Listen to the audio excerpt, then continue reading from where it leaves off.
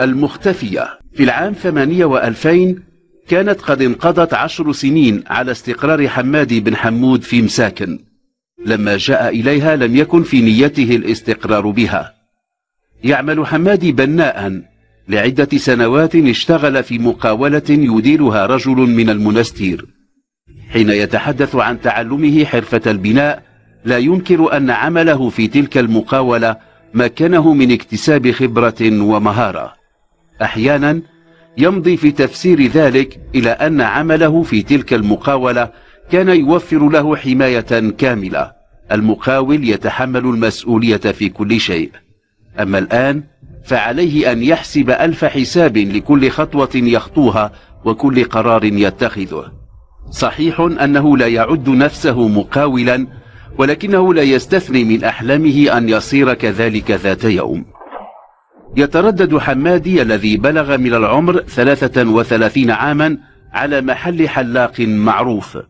محلات الحلاقين كثيرا ما كانت فضاء للقاء والثرثرة في كل المواضيع الخاص منها والعام والكلام في السياسة والاقتصاد والرياضة.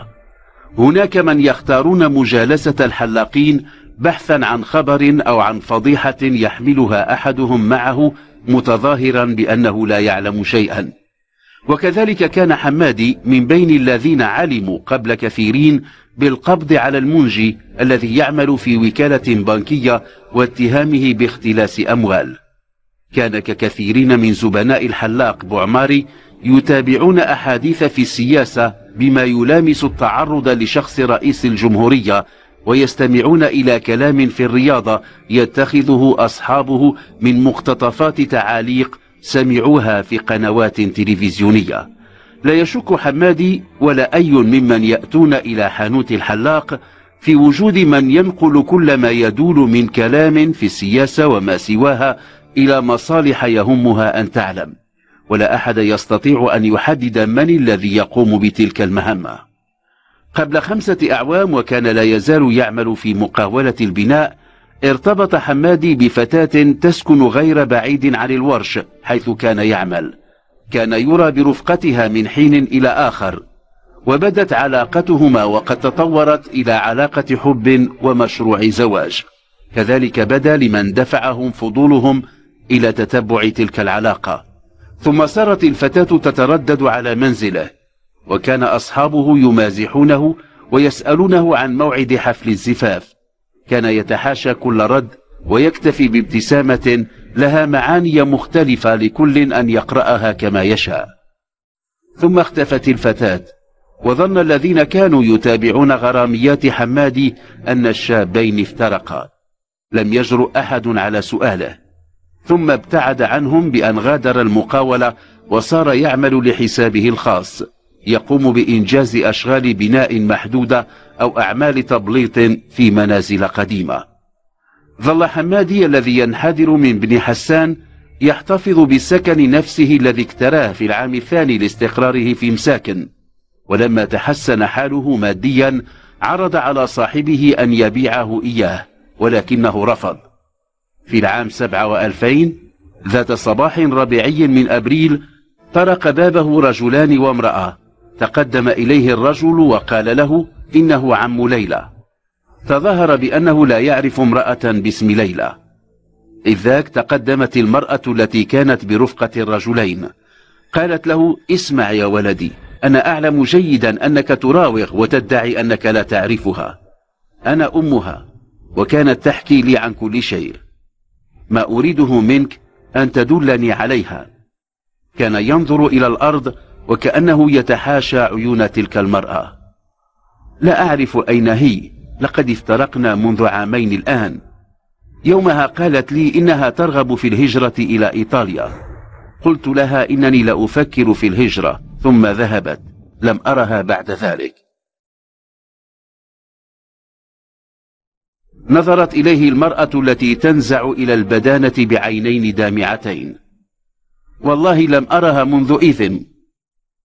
نظرات المرأة المكلومة كانت تقول له إنها لا تصدقه فيما يقول. الرجل الذي قال إنه عمها مر أمامه نظر في عينيه. ستظهر الحقيقة. لم يضف شيئا آخر ومضى تتبعه المرأة ورفيقهما.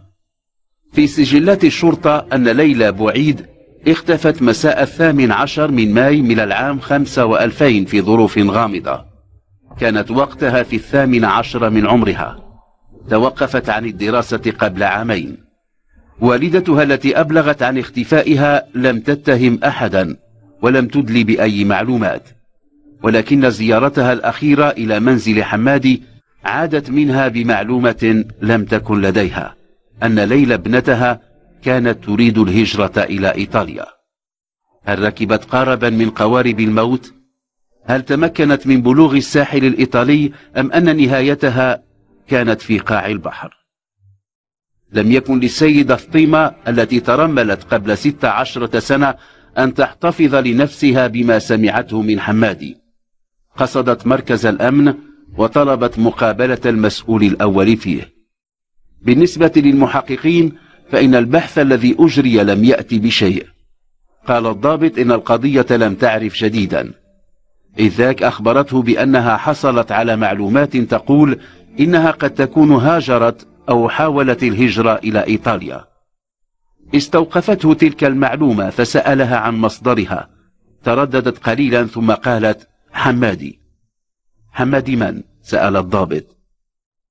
حمادي يا سيدي كان يقيم علاقة مع ابنتي وقد أبلغتني بأنهما كانا ينويان الزواج. قلب الضابط الوريقات التي يحتويها الملف الذي بين يديه ثم نظر إليها. أطال النظر ثم سألها.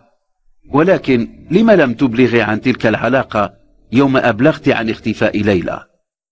كان صمتها يعني للضابط أنها أرادت التكتم على شيء ما. لم لم تبلغي بذلك. لست أدري قالت والدمع ينهمر من عينيها ثم أدلت بعنوانه. مساء ذلك اليوم الذي طرقت فيه أم ليلى بابه مر حمادي بمحل صديقه الحلاق. كان لديه زبون وحيد. جلس على أريكة وأمسك بصحيفة تعود إلى أسبوع مضى. كان واضحا أنه لم يكن يقرأ ما فيها من مقالات. قلب صفحاتها بسرعة. بدأ أن لا شيء استوقفه أو شد انتباهه. لما مضى الزبون جلس الحلاق بجواره. أراك مهموما. أتمنى أن لا يكون أصابك مكروه. رفع إليه نظره واكتفى بابتسامة تكلفها.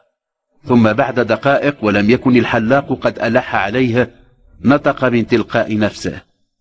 تعلم صديقي لقد جاءني إلى المنزل صباح اليوم رجلان وامرأة. قال أحد الرجلين إنه عم تلك الفتاة ليلى. هل تذكرها؟ نعم نعم تلك التي كنت مرتبطا بها. نعم. والمرأة قالت إنها أمها. قالوا إن ليلى اختفت. وما ذنبي أنا؟ لقد قررت أن تعبر إلى إيطاليا ورفضت أنا أن أغامر. هل وصلت إلى إيطاليا؟ لست أدري. ولكن حمادي فيما أذكر أنك من توسط لها لدى من أخذوها معهم في تلك الرحلة إلى لامبيدوزا. نعم ولكني لم أرى ذلك الرجل منذ ذلك الحين. ودفعت له. نعم دفعت له. لم يحاول الحلاق بوعماري المضي أبعد من ذلك في الحوار بينما نهض حمادي وودعه وانصرف إلى منزله. مر أسبوع على لقاء حمادي بوالدة ليلى لما طرقت الشرطة بابه. كان الوقت ظهرا. أخذ إلى المقر المركزي للأمن في مساكن. كان عليه أن يجيب على أسئلة فيها الكثير من التدقيق في التواريخ والمواعيد وفي الكلام الذي دار بينه وليلى. كان المحققون يركزون على ما دار بينهما في اليوم الأخير الذي رآها فيه. سئل عن المكان الذي التقيا فيه رد بأنهما التقيا للمرة الأخيرة في منزله. تقرر تفتيش المنزل ولكن التفتيش لم يفض إلى ما يدل على أن الفتاة مرت من هناك. وقد هم الباحثون بإخلاء سبيله ولكن ضابطا مجربا اعترض وقال إن الأمر بحاجة إلى تحريات إضافية. مضى الضابط إلى صاحب السكن الذي يكتريه حمادي. علم منه أنه عرض شراءه وأنه قبل عامين طلب السماح له بالقيام بأشغال فيه.